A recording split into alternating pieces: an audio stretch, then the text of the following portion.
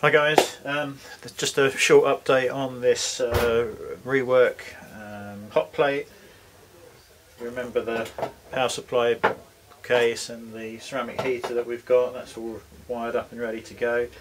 Uh, main issue was how to just bond this uh, into here like that and uh, and then to seal the edges when they go into the when, when it goes into the PC case.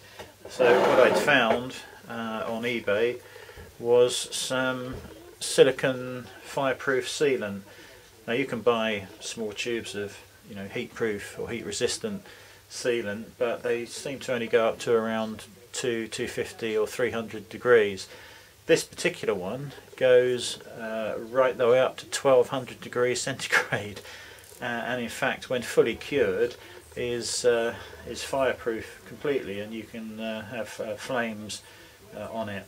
Of course, that shouldn't be the case with what we're doing, hopefully. Um, but yeah, it remains flexible from minus 40 degrees all the way up to uh, 1200 degrees centigrade. So I think that's absolutely perfect for what I need. It's uh, also black as well, so should blend in nicely. Not that I'm too bothered about that.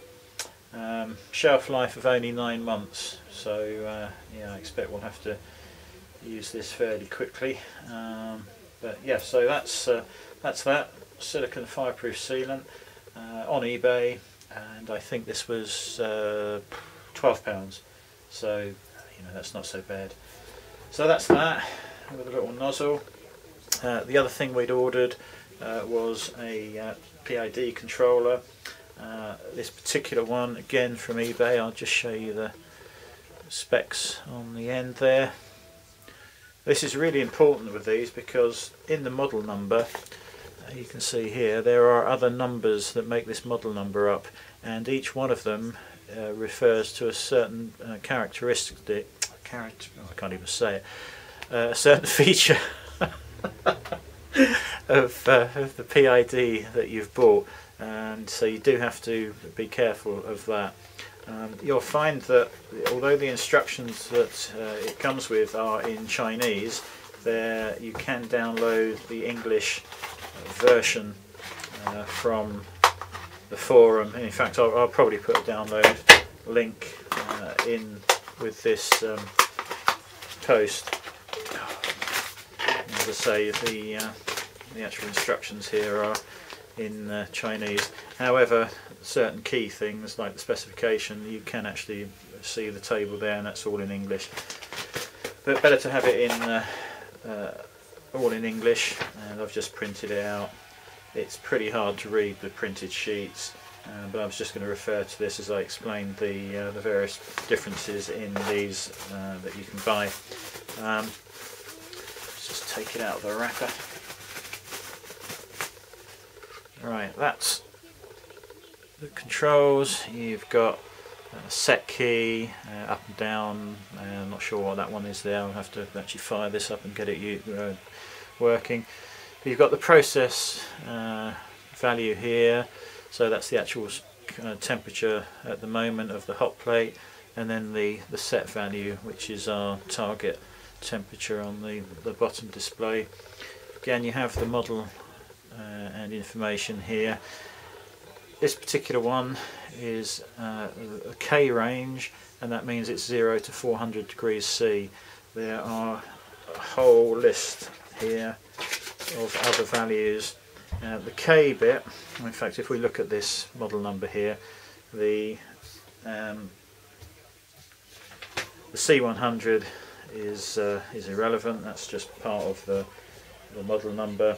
Uh, but then the next digit, which is the F, uh, sorry, yeah, the F, if you look that up in the table, um, bear with me, C100F, right, the, the F is the control uh, action, and it says that it's PID action, reverse action. Now I have absolutely no idea what reverse action means. the other option here you would see a D, and that means it's direct action. Again, I don't know what either of those options do. Um, I'm guessing I'll have to research that.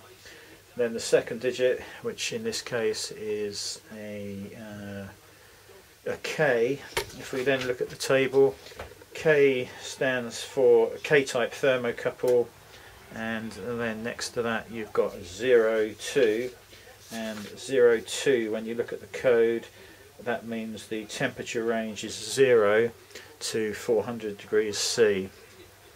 Uh, then we have an M which is uh, the control output type. Now again, crucial, it does tell us here, but if you, you know, let's assume this label had been damaged or was missing, uh, the M means the output uh, type and again you've got four choices here.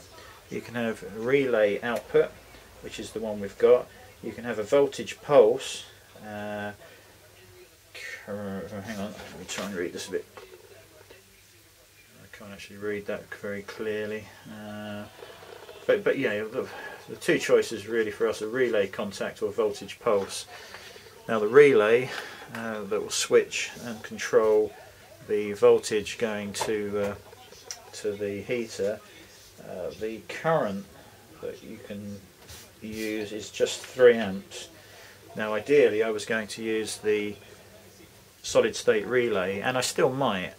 This is enough to power that hot plate but I'd rather keep this as cool as possible uh, so it lasts as long as possible and the only way I can use these relay uh, contact type uh, to power this is if I just connect up a small mains transformer um, so it'll be 240 into the transformer and then just a very low voltage uh, coming out. I seem to recall that the solid state relay can accept AC and DC voltages I think from 0 to uh, 30 volts. Um, I haven't got it, oh yes I have, have a look. Uh, oh, actually no, that's wrong.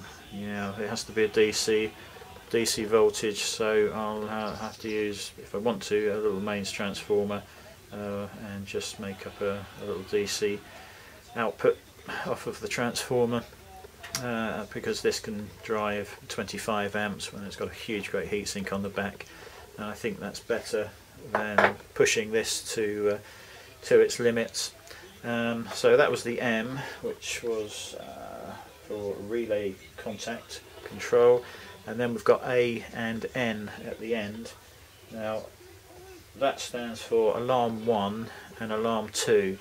Now the A, if these were both ends there would be no alarm outputs.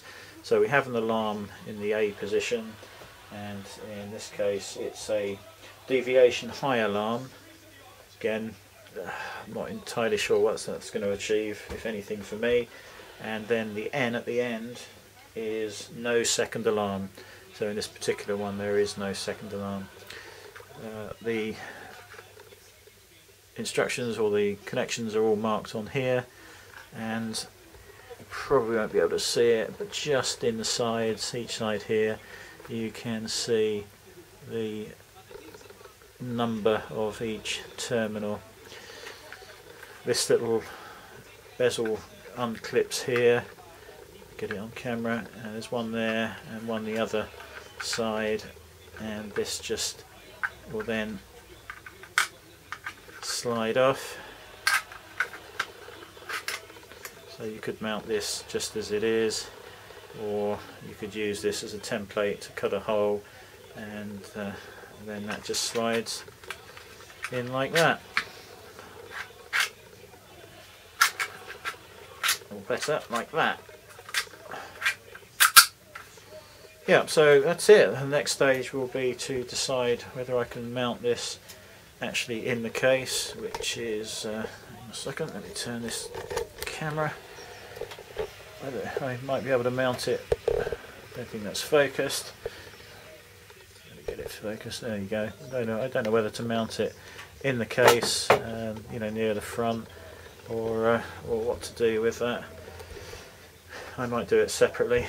Um, so yeah, the next stage will be to get this uh, sealed in place and uh, we'll probably just give it a you know, test fire up on the bench with this and uh, you know, thermocouple just attached here, pins, uh, pins 9 and 10 and we'll just give it a, a, a try out.